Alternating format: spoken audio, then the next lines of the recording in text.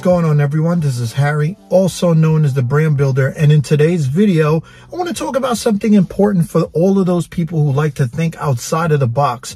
If you're the type of person that is not happy with the type of income you get from just a nine to five job and you like to think outside of the box, you want to expand your financial horizon, then Stag Industrials is just the thing for you.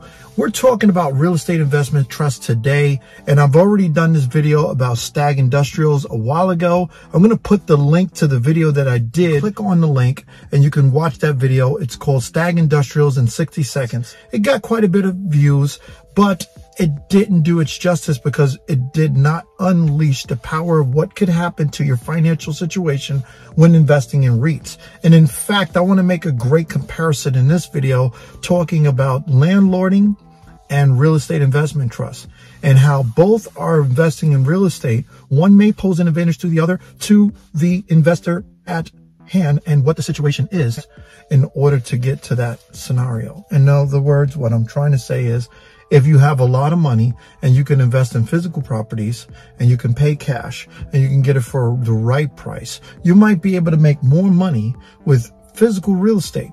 But if you are a nine to five, but if you are a nine to fiver, but if you are a nine to fiver and you're not making six figures a year, six figures a year, and you're not making six figures a year, you probably want to consider real estate investment trusts.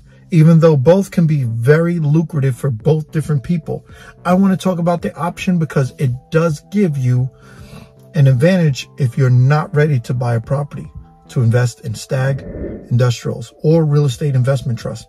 We are talking about an investment that has over 559 buildings. Now let's just talk about what diversification means in general. If you buy a home that you want to rent out to a tenant, if that tenant doesn't pay the rent, you are not making any income.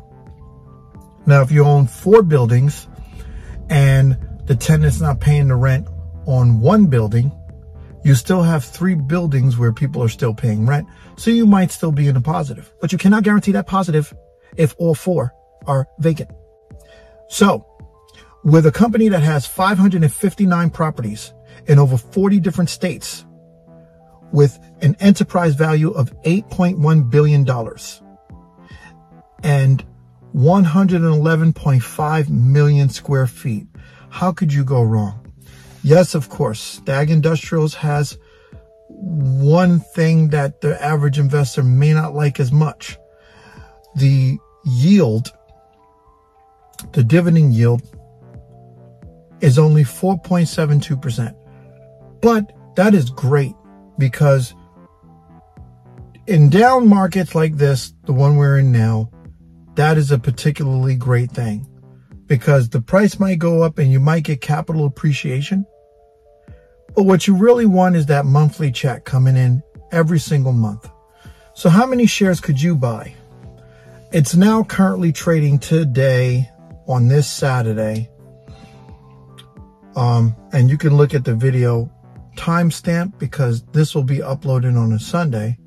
So that means I recorded it the day before. You'll know, you'll understand, and maybe I'll describe it in the description below.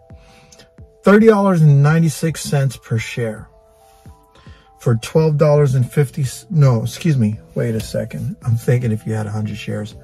If you have one share, it's 12 cents. If you had 100 shares, it's $12.50.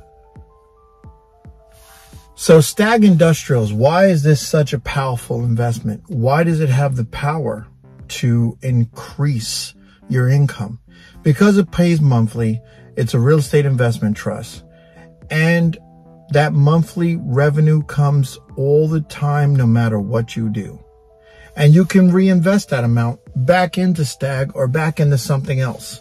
Now, we're not going to talk about stocks today. We're going to talk about real estate and real estate only. So would you rather be a landlord or would you rather be a real estate investment trust owner? Because real estate investment trusts trade on the stock market just like a normal stock. Whereas in real estate in general that you buy and rent out, you have to buy that on the real estate market, which means that you're either using a broker, brokerage, or you're buying direct from the owner and you're making a deal like that. So it depends on how you do it. One is traded on a stock exchange, so the volatility of the market will affect it to some degree. Sometimes it won't. But the choice is really yours. Dividend income or rental income. Because to me, dividend income is more guaranteed than rental income. This is why I like real estate investment trust so much. But what do you like? Let me know. Hit the thumbs up. Make sure you subscribe to the channel and comment below. Let me know what your thoughts are. But most importantly, I would like you to hit the notification bell. Make sure this video reaches you in the time that is uploaded in a fast manner and an efficient manner because I want to get these videos to you as soon as possible. We're going to be talking about side hustles in the next video. So make sure you get your video on because side hustles is coming up. Make sure you get with the program of side hustles because I love them. And in this video, there's some music that I made below. I like this music. You may not like it. And some people have been asking me about the music in the background. Yeah, that's music that I've been making for the videos. I like to make my own music for the videos. So that's what I did. Have a good day. Enjoy.